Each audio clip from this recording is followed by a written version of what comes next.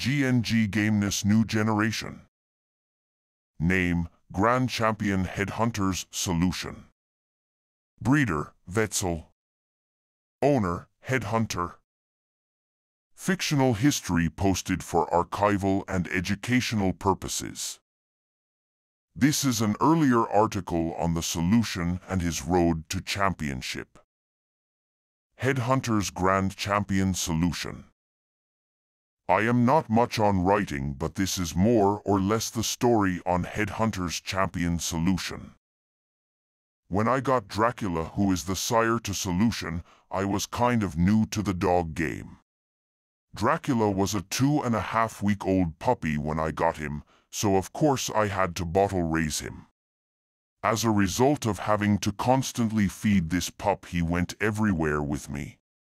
He was a real smart dog never making too many mistakes. When Dracula's father, Darth Vader got off the chain when Dracula was 12 months old the pup took quite a beating from his father, but kept going.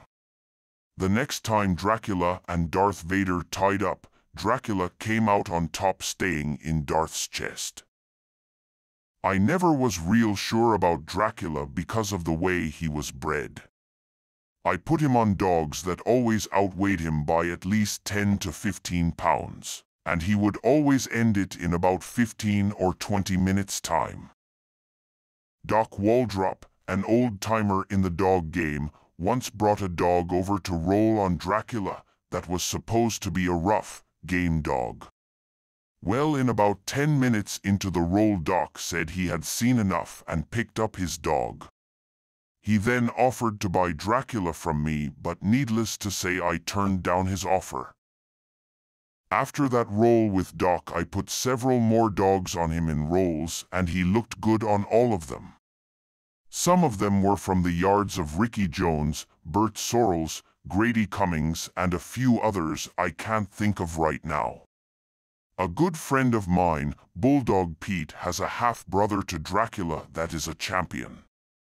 But will not breed him because of the breeding, but also refuses to roll him anymore either for he is game and has paid his dues. Now for Wetzel's Tazzy, the dam to champion solution. I had her before Dracula.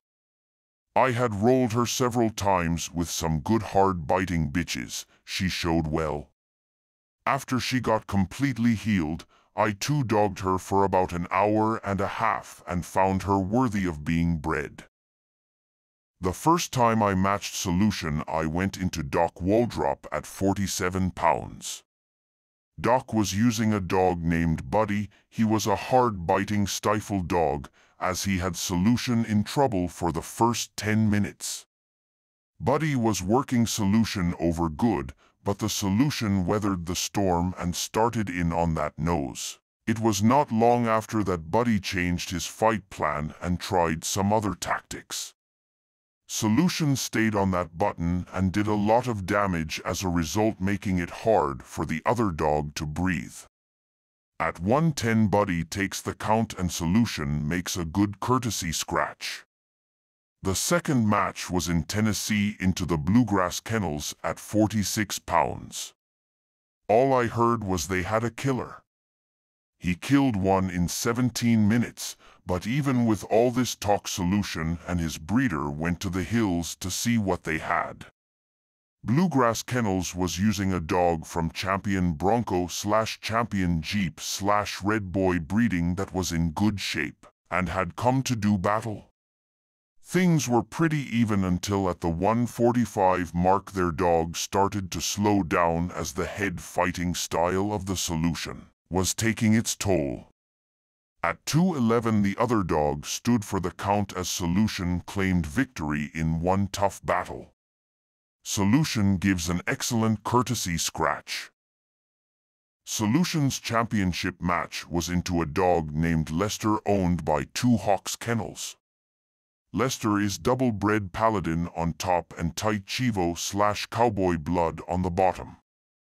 Lester comes out of the gate like a buzzsaw and straight into Solution's chest. Solution works his way to the top of the head and starts to work and gets Lester out of the front end. Lester goes to the rear end, but Solution is able to get him out the three times he gets to the stifle. At 45 a turn is called on Lester. There is only one scratch each made as Two Hawks picks up a game Lester at 110 and my son of Dracula and Tazzy wins his title and is now known as Champion Solution. Headhunter